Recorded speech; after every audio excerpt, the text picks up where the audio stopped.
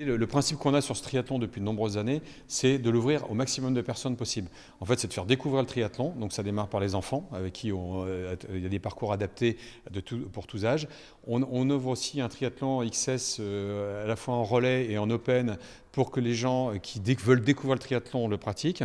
Euh, on a aussi donc et on fait aussi un départ décalé pour les femmes. On fait aussi un triathlon pour les entreprises. On a des l'ES et l'EM, enfin notamment l'EM où on a des primes équivalentes pour les hommes et pour les femmes. Enfin, on travaille ça aussi bien sur le champ de l'inclusion homme-femme, aussi que l'inclusion valide et non valide, puisque ces épreuves sont aussi ouvertes aux non valides.